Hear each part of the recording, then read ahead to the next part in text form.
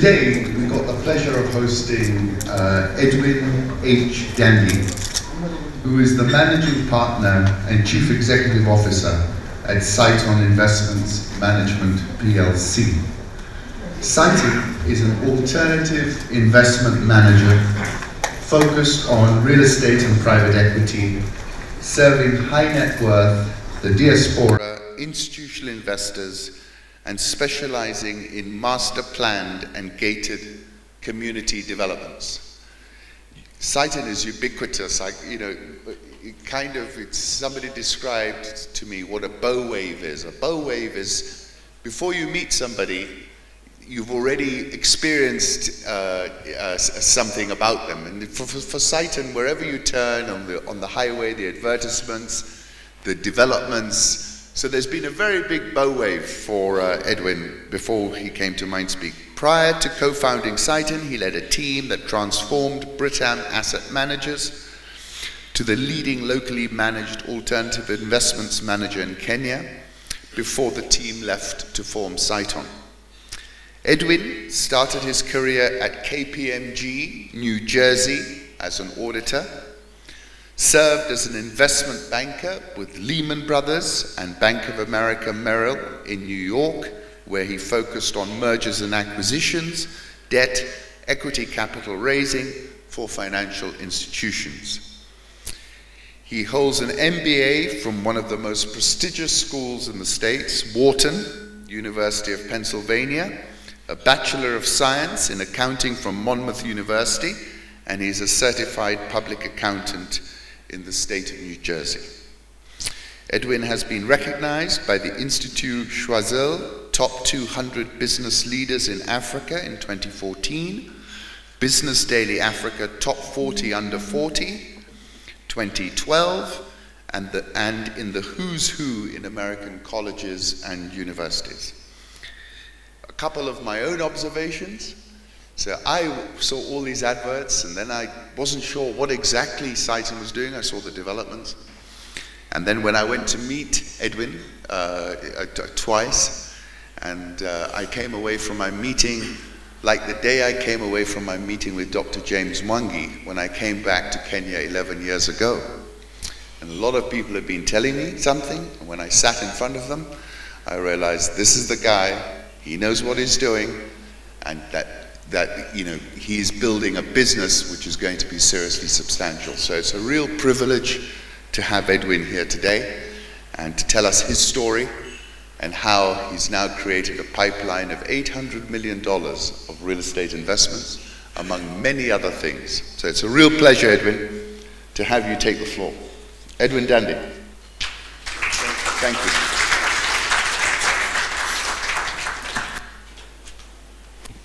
Good morning, everyone. Thanks for taking the time to be with us this morning, just to get to hear what is investments, what is Cytonn, and uh, any other thing that you have in mind.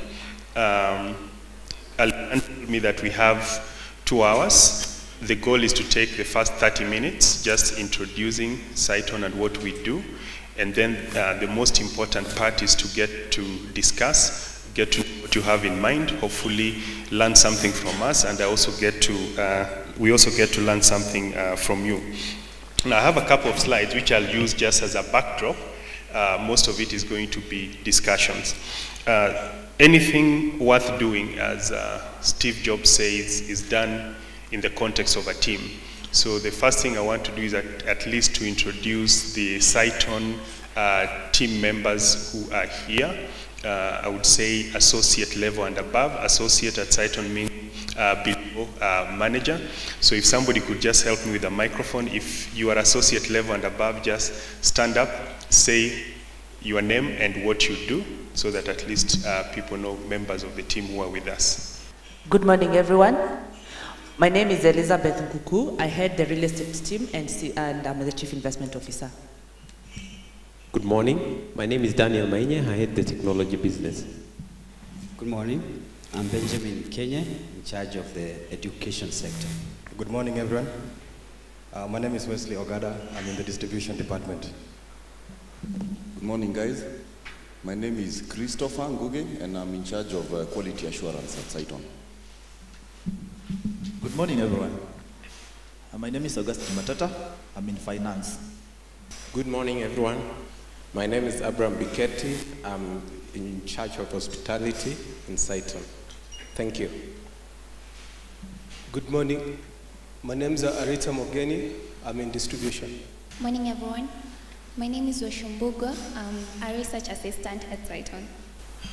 Good morning, everyone. I'm Martin Gitonga from Projects Management. My name is Maurice Oduor. I'm from Investments. Thanks. Uh, we have uh, more members of uh, around, but I just took a sampling so that at least you know who is uh, in the room. Now, what uh, does Cytonn do? Maybe I would start by putting it into very broad context. Uh, if you take an, what I would call an average human being, they're interested in things. Part of the reason why you are here this morning is information, knowledge, getting to understand what is going on. So learning and growth is one core component. Uh, the other component is faith and spirituality. The reason why uh, maybe the, the Seventh day Adventists are not with us here today, or uh, a lot of us will be going to church tomorrow, is uh, spirituality and worshiping and things like that. And then there's also health and well being. Why we see our doctor, why we go running, why we go to the gym is that we want to stay uh, healthy. And then there's the fourth part, which is financial security. Everybody wants to pay uh, their bills. That's why we go to work, that's why we save, that's why uh, we invest. So uh, for us, we deal with that quadrant of financial security. Now, if you're going to invest, you have to choose a couple of uh, places you can invest in. You can buy equities, you can buy fixed income, you can put money uh, in bank uh, deposits. collectively, we call that public markets or conventional uh, investments. Now, as an alternative to fixed income, equities, and, and bank deposits, there's another area that is called um, alternative investments, uh, which, which is generally real estate and private equity. Now, as people who are in the investment business, when we looked at uh, when we looked at the returns for conventional products as a whole, uh, they returned roughly 10 to 12 uh, percent. There's a slide I'll show uh, some, at some point showing you here is what alternative investments return, and here is what equities fixed income, equities uh, and, uh, and uh, bank deposits return. So we decided that as a group, we're going to focus primarily on alternative investments because they return anywhere between 18 to 25 percent compared to around 10 to 12, uh, 12%. So to really uh, try to um, articulate what Cytonn uh, does, we get money from two main places, from individuals or from institutions. Individuals, it's mainly through our structured product uh, vehicle called Cytonn Cash Management Solutions.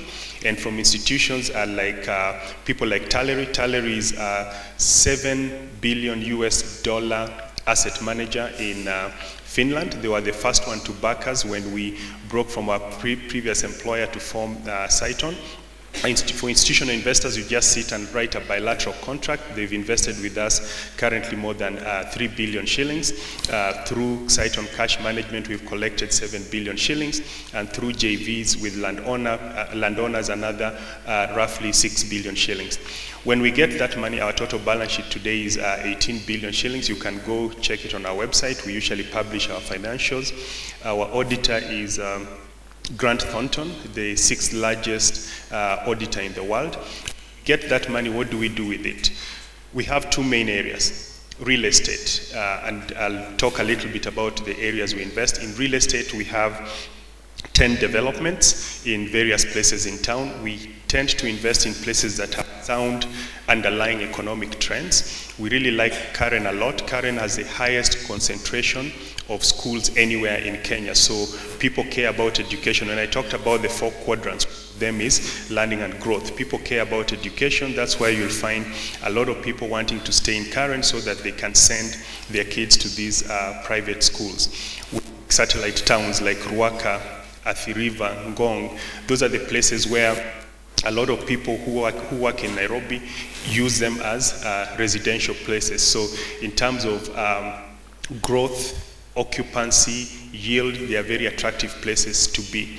You will not find us investing in, let's say, residential in Kilimani, Kileleshwa, Muthaiga, Spring Valley.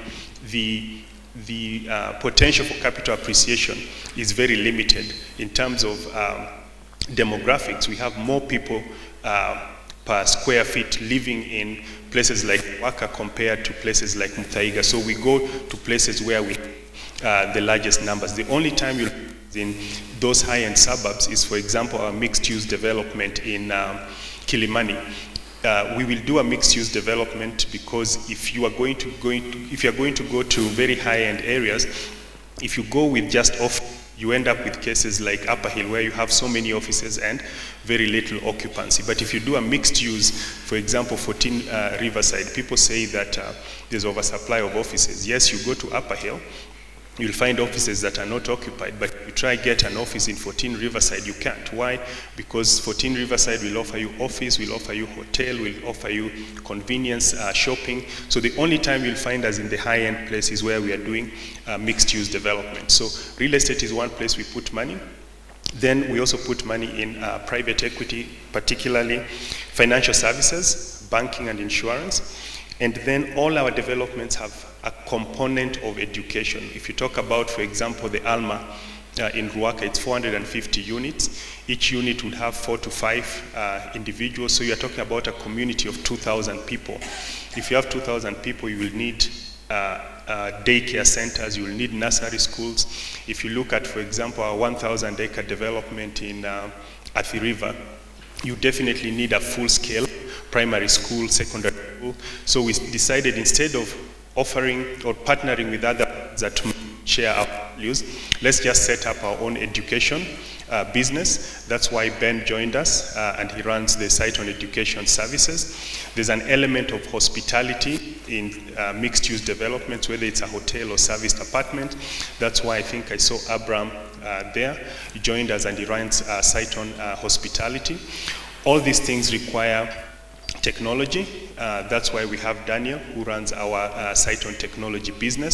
We are, their, we are their largest client, but soon they'll be commercializing that initiative to be able to offer technology to uh, third-party uh, clients. So that's really Cytonn in general, where we raise uh, why we are why we are focused on alternative investment. It's the highest returning asset class, where we raise money, individual investors and institutions, and where we deploy that capital. In terms of just quick uh, facts, the 10 projects I've talked about currently have uh, uh, total 82 billion in what I would call projects under mandate. Of this 82 billion, we've already raised 18 of it. In terms of offices, uh, six offices. We have uh, five here locally. We have the diaspora office in, in uh, Washington, D.C., and we are now beginning our, our uh, county uh, plan. We are opening an office in Nyeri by the end of this month. I don't know if Stephen is here. Stephen is going to be the regional manager for Mount Kenya region.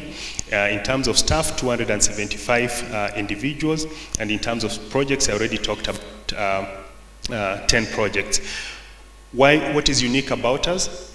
Independent, independence and investor focus. One of the reasons why people have lost a lot of money, take any brand, whether it's Nakumatt, Uchumi, KQ, uh, Chase Bank, Imperial, the common theme among them is going to be governance and conflicts of interest. What we, the reason why we decided to form our own franchise is so that we can really focus on the interests of the, of the investor. If you take care of the investor and the investor does well, the firm will do well. If the firm does well, then of course we shall do well. So that's why we decided let's form a firm whereby there is no big brother, there is we are accountable to other than uh, the interest of the client. We focus primarily on uh, alternative investment, very strong alignment. Every member of the firm is a shareholder. When you come to Cytonn, of course, it's a very rigorous place to work, but when you get confirmed after three months, you get shares equal to three months of your salary. So, of course, it vests, it can't vest immediately, it vests over three years. So every member of the firm who has been confirmed is a shareholder. And then um, uh, strong partners such as uh, of uh, Finland. Uh, I already talked about what we do in terms of collecting funds, investing in high returning uh, products, and returning the funds to, to the client. This is a slide I was talking about in terms of returns.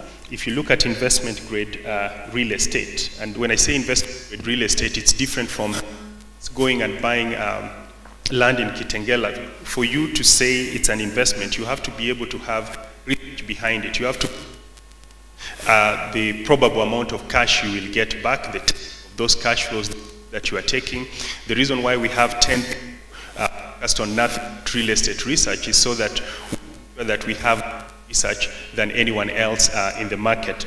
If you look at um, those returns, 10-year Treasury, uh, I think this over the last six years has returned 12 and a half. Uh, Nairobi All Share Index, stock market 10%, 91-day T-bill 9.6. You take the average is around 14%, and that I think includes uh, real estate.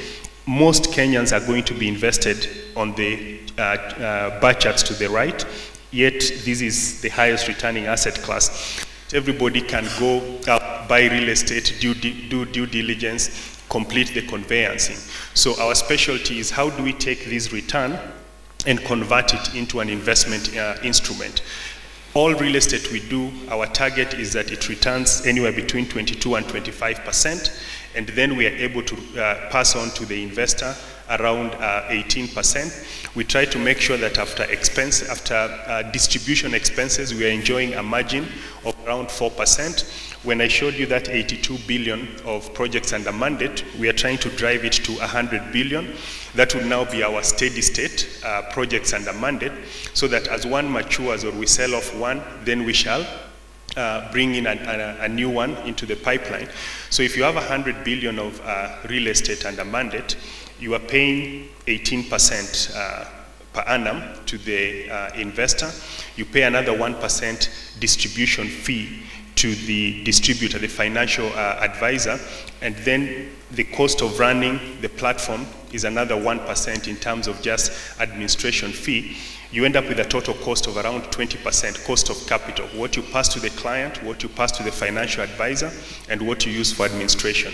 Then you make sure that on the other end you are collecting around 24%. So you enjoy a margin of around 4%. If you take 4% on 100 billion, our strategy is to be able to generate 4 billion of top line uh, every year.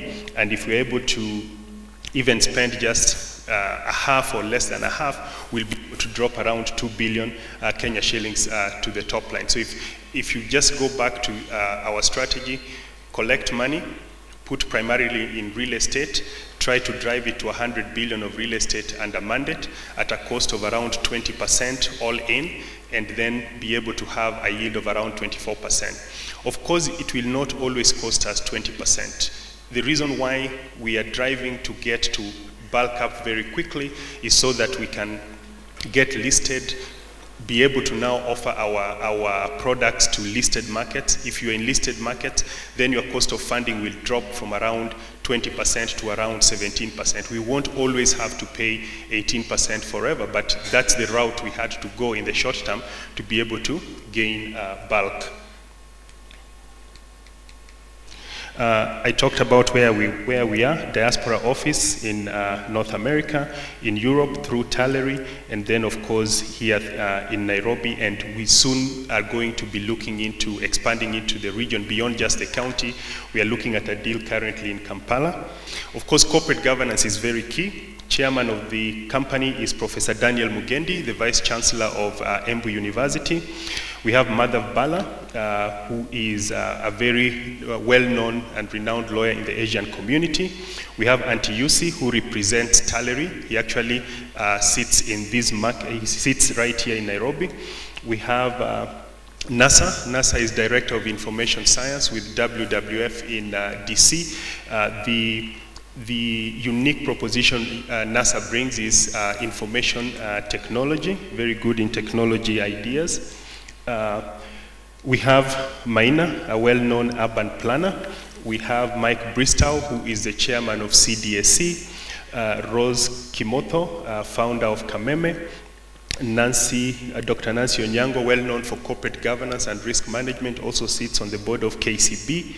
Madhav uh, Bandari, very good internal controls. He, he's part of our audit team, uh, audit committee. Myself as an executive director, Liz CIO, Patricia as uh, head of legal, uh, and also a partner. Now, the vehicle that we use to collect money between individual investor and ourselves is actually its own company with its own board. The board of that, that vehicle are actually elected from the investors of that vehicle. People always ask, but how come you are able to take money from individuals? Uh, there is a section in the CMA Act you can offer securities through public offers. Essentially, you can advertise it ev everywhere. If you go to uh, a page like um, there's a page in the nation that has all manner of numbers. If you are going to engage the public, then you have to go through a public. But if you are going to engage individuals, individual high net worth uh, investors, you can do it through private offers. So how do we then structure this vehicle? I mean, as investment, as just my institutionalized. They come partners, elect they elect their own board, and then they are able to then govern them. Govern themselves. All they do is to tell us exactly how they, wa they want the money invested, and we take the money and invest into uh, real estate. The chairman is Shaka Kwach. Uh, the vice chair is, Na uh, is Naomi. We have Viru. We have um, Mitesh. Antti also sits here. They're also investors uh, in the fund. We have An Anthony Maina, who's a banker. And then uh, Maurice represents us uh, in the board because we're also partners there as the, as the principal partner. And then we have uh, Doreen. Now, that, that's the board for the arm that we collect this money, as I said, we invest it into uh, real estate. Each of the real estate has its independent chair of the board. We have Jenny Ndwati, who chairs the ALMA board, and actually after this particular uh, presentation, I think at 12.30 we've offered whoever wants to go see uh, any of uh, uh some of these developments. ALMA is one that we are showcasing today. There'll be a bus out there. You just register, hop onto it, and you'll be able to go see the ALMA. We have Cairo Bachia, who's chair of Taraji. We have Madhav, who's chair of uh, the Ridge board. Antti, uh, also a member of Taraji board, and you'll see Antti all over the place because they are the largest institutional investor in Cytonn. They have to protect their interests. Nasser, who sits on the Alma board, Christopher Kaemba, Newtown board, and then you have Ian Anderson, who sits on the Ridge board. Ian Anderson is also the managing uh, director of Superior Homes. Superior Homes is a developer for Green Park, the 700 units on uh, Mombasa Road, and we are also investors in Green Park where we own 25% uh, of, of, the, of the farm. Uh, our unique proposition in the market. People always ask why is Cytonn going fast? There are a couple of things. Of course, we spend a lot of time to make sure we get the best talent, but our strategy of bringing real estate development. If you think about developers in, in these countries, uh, developers like Suraya, King's Pride, King's Developers, they are mainly focused on development. When they want to fund their developments, they go to the bank. The all-in cost of funding in a bank, as I'll show you later, is 18%, even though they say it's 14. By the time you add all fees, you are paying 18%. Now, when people want to, eh, uh, when people are looking to invest in real estate, like insurance, asset managers, they spend a lot of time trying to understand the risk in that asset. There's nobody who's brought real estate development and investment management into one platform, onto one platform. That's why you have Cytonn Investment, collecting funds, set, sending statements, talking to clients, talking to investors, and Cytonn Real Estate doing uh, the development. So the financing capability is done through Cytonn Investment. Development capability is done through Cytonn Real Estate. And we spend a lot of time on joint ventures. Of our 18 billion of capital, as I said in the beginning, 5 to 6 billion has come from um, landowners contributing land into JVs as capital. No one else has this in this market. You think about any, anyone else who's developing, they have not couple, coupled up real estate development and real estate finance onto one platform. We have uh, end-to-end -end capabilities. we have around 120, 150 individuals. When they were introducing themselves, you heard people say they are from distribution, doing nothing other than two things. One, when they meet you, they want to collect money. Uh, we collect money directly from individuals and pay them the same thing that we pay uh, to a bank, which is 18%, or they'll also sell you uh, real estate. Then we have the market research and site acquisition team. Everything we do has to be led by research so as, you, so as to de-risk it. Con once we've acquired the concept and project management team to deliver the product, and of course it has to be sold and managed at the end.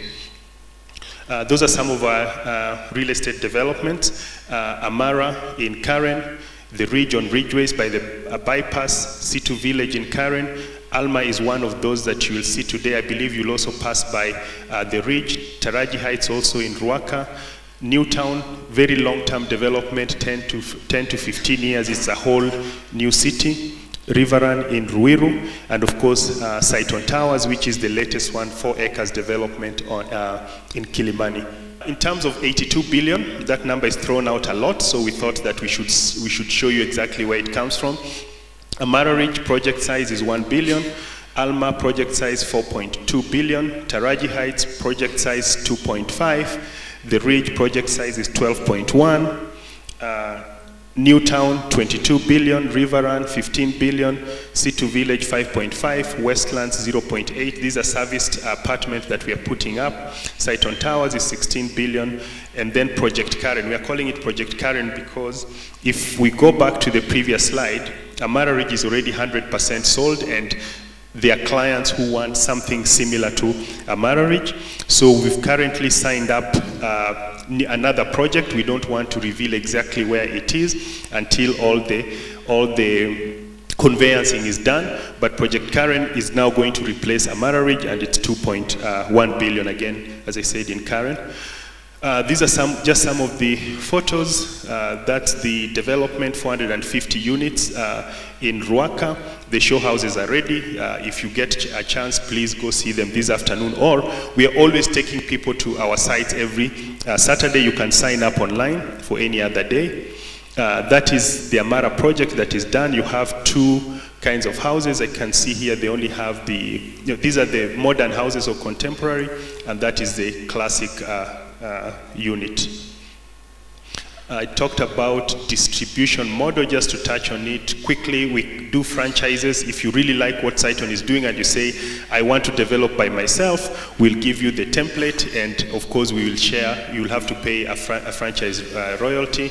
We raise money from institutional investors. We have the diaspora office, private wealth through uh, Cytonn uh, CMS. We have a lot of IFAs who, who also distribute uh, our products. We have these uh, product retail it's not our biggest offering but uh, when you look at the at the core of Cytonn everybody comes from what I would call a working class uh, background. So we feel bad when somebody walks in with 5,000 and says I want to invest. We don't want to turn them down. So we don't push the product hard but when somebody has um, an amount that is below what is allowed under private offers, we channel them to Cytonn Cooperative.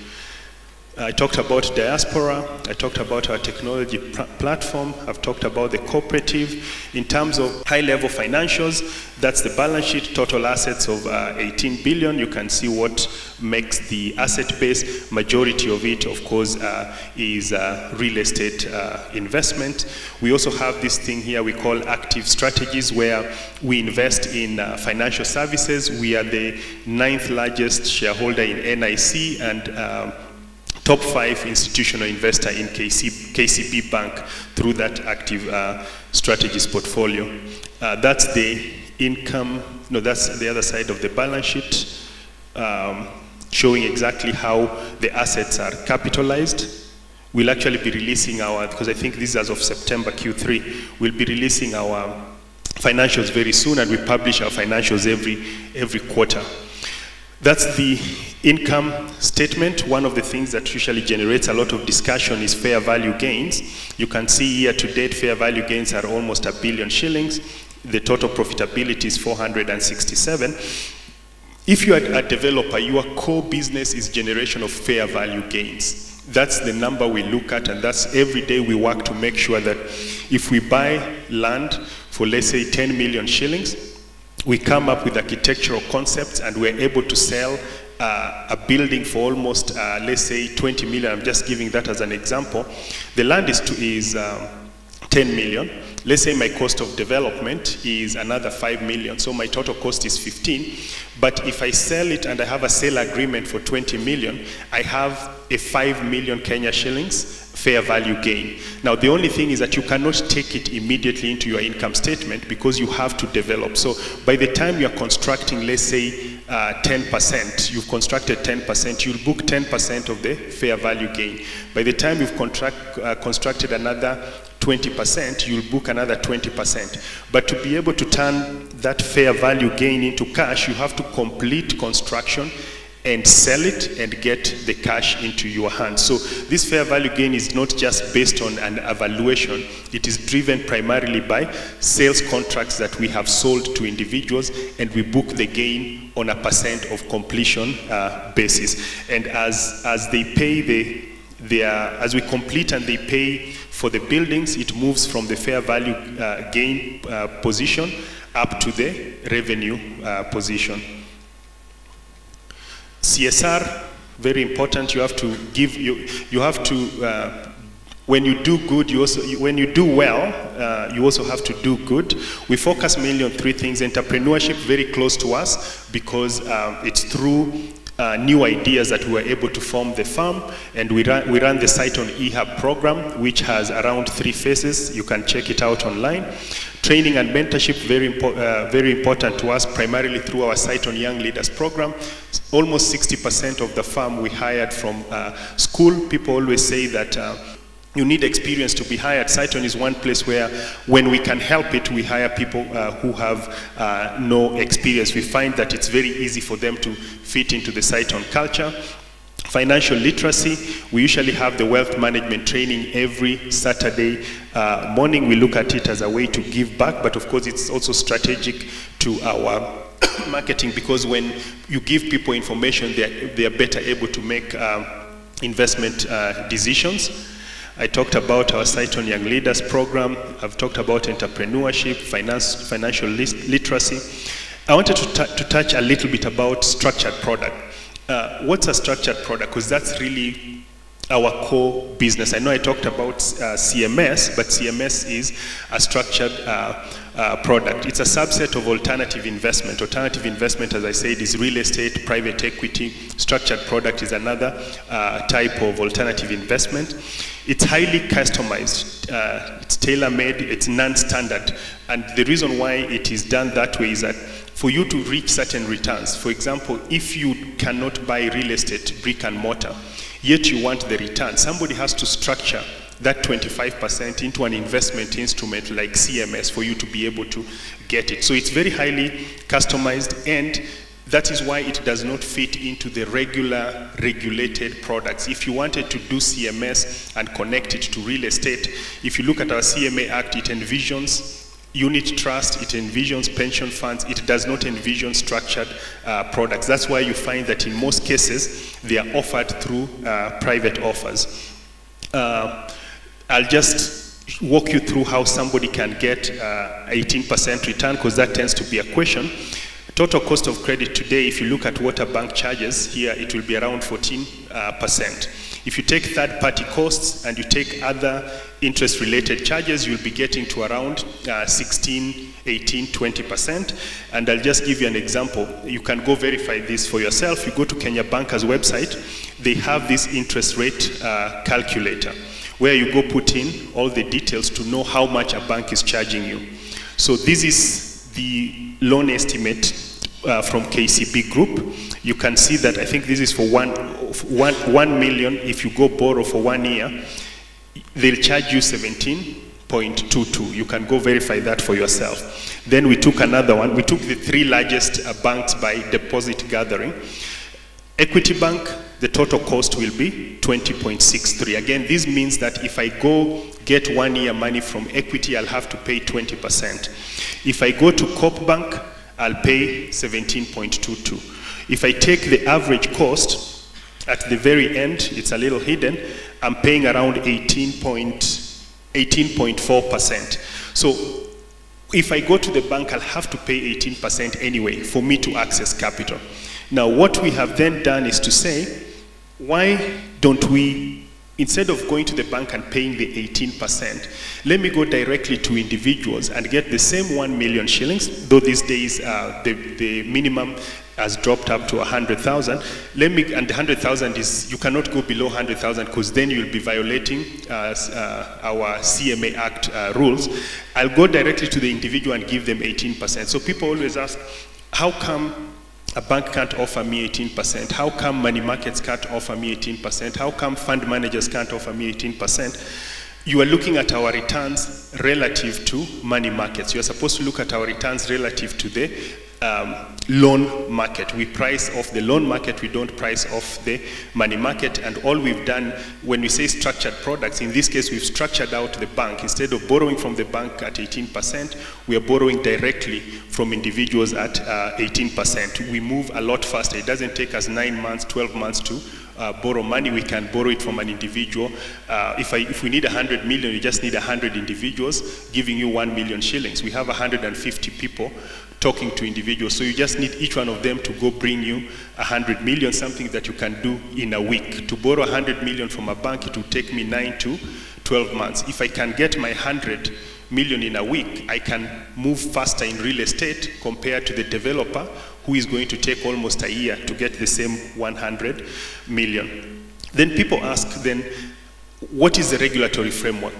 we decided to copy it directly from uh, the CMA Act. There's a regulation, uh, I think it's called public, somewhere, the Capital Markets Securities Public Offers Listing Disclosures Regulation 2002. It, it is, we, the section that we have um, taken out to show you essentially after writing everything you have to conform to when you are doing a public offering, Section 20 then says this regulation, which is the CMA Act, shall not apply to A, government bonds, I mean government securities, and B, private offers. So if you're going to do a private offer, you don't have to comply with the public listing regulation. Then it goes ahead and says, defines what is a private uh, offer and it gives around nine conditions for a private offer. And you, all you need is to comply to one condition. You don't have to, to comply to all uh, nine.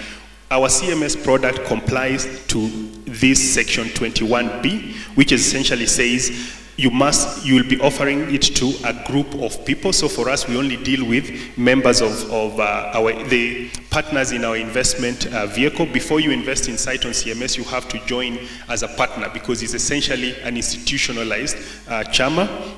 Then there's a section that talks about you only deal with people with a restricted uh, group of people who you believe, uh, who the offerer reasonably believes to be sufficiently uh, knowledgeable. And then there's another section that talks about the securities are not freely transferable. Essentially, you cannot take Cytonn CMS and go sell it in the market. You have to deal, you have to come back to me if you need your money back. And I think there's also a section that talks about the minimum, as you can see, section F says the minimum is 100,000 shillings. So essentially what CMA is saying anybody who can open an account with at least 100,000 shillings that does not need public protection. The, the reason the CMA Act exists is to protect the general investing public. If you have 1,000 shillings as the maximum you can use to open account, an account, the regulations essentially say you might not be that sophisticated or you might not be able to hire lawyers and accountants, therefore you need the protection of the CMA. But if you can walk in and open an account for 100,000, the Act suspects that you are knowledgeable enough, and if you are not, then at least you can hire an accountant or a lawyer. So that's the regulatory framework. We operate under the private offers uh, regulatory uh, framework. This is just to show how money moves from CMS into a development. I don't have to go through it because I already described the way we would collect money from an individual, put it uh, through CMS, put it into a development, sell that, that development, earn a 25% return, give 18% to the investor, and we keep uh, the balance. Uh, that's CMS growth, starting from 200 uh, That's around 200 million in December 2014 and currently is just, uh, as I said, uh, roughly uh, 7 billion shillings, exactly 6.9 6.9 billion or 7 billion uh, shillings and continues to grow. This is exponential growth. You can't possibly find things that grow this fast uh, in this particular uh, market. Uh, frequently asked questions, what is a structured high yield product? Because when, when we talk about CMS, that's a structured high yield product. I think I already uh, talked about it. It is a product structured by a professional and tailored to the investor to be able to access a pocket of return in the market that you cannot access using conventional product. How come you're able to offer 18%? I think I've already answered that. How come no one else is doing this in the market? When you go to a bank, the best they will offer you is 7% based on, on the law. In most cases, they'll offer you zero. But because they are lending out their money at 18%, there's no way they can offer you 18% because they have bills uh, to pay. So the only way you can offer 18%, you have to have the underlying product. And we are yet to find a product that can consistently offer 18% other than real estate. So you have to be a real estate developer who does research to make sure that before you invest, you are going to be able to earn 25%. Uh, and once you earn 25%, that's the only way you can offer, offer 18%. I don't know anybody else in this market who is doing real estate development and also has an investment management arm that is linking to investors. That's, that's the reason why it still remains a space for Cytonn to play essentially without any competitor. We get this question a lot. Uh, people go to the banks and they want to withdraw money uh, to bring to Cytonn and the relationship manager starts talking about how Cytonn is shaky, are you sure about your money? The reality is um, it's, it's competition. Uh, if a bank cannot compete with us, so the only thing they possibly can do is to badmouth the brand, but this is not new. When Equity Bank started as a building society 13 years ago and converted to a bank to focus on the bottom of the pyramid, consistently established bank, banks were bashing Equity Bank, but it just continued focusing on that growing market. Starting from a building society 13 years ago, today Equity Bank is the largest bank by market capitalization.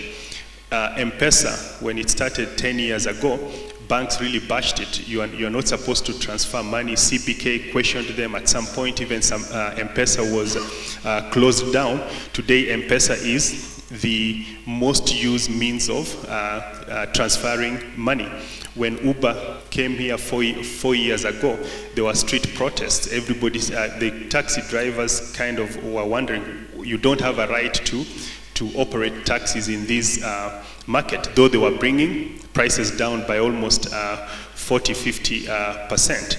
But today, Uber is the most used way of taking uh, taxis. So there's nothing new. When, there's a, when a brand threatens existing uh, players or it threatens the establishment, they tend to try to tarnish it, but it really never works because of these investors, and we have 3,000 investors here. Starting, we, remember we formed the firm in September of, uh, September of uh, 2014. This only shows CMS assets under management because by December 2014 we already had 3 billion commitment from Taaleri but the people that uh, the market is really worried about are the local individuals. By December we had collected 200, um, is that 200 million or 200,000? Can't, I think that's actually 200,000 in December 2014, only 200,000. But as we continued delivering, by June 2015, we were 200 million. Then by end of 2015, 1.5 billion. Now it's 7 billion. Behind this 7 billion are 3,000 individuals. There's not a single one of them that has ever, ever lost money with us or who is unhappy. Most of the people, not most, every person who badmouths who badmouths Cytonn or has an issue with the brand is not an investor.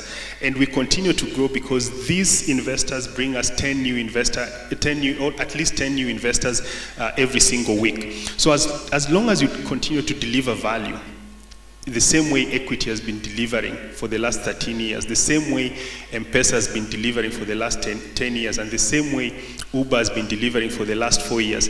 People will hate on your brand because you are taking market share away from them, but as long as you're delivering value to your clients, you continue to grow exponentially. That's why we are always uh, just focused on our uh, execution because that's the best way for us to grow. Asanteni.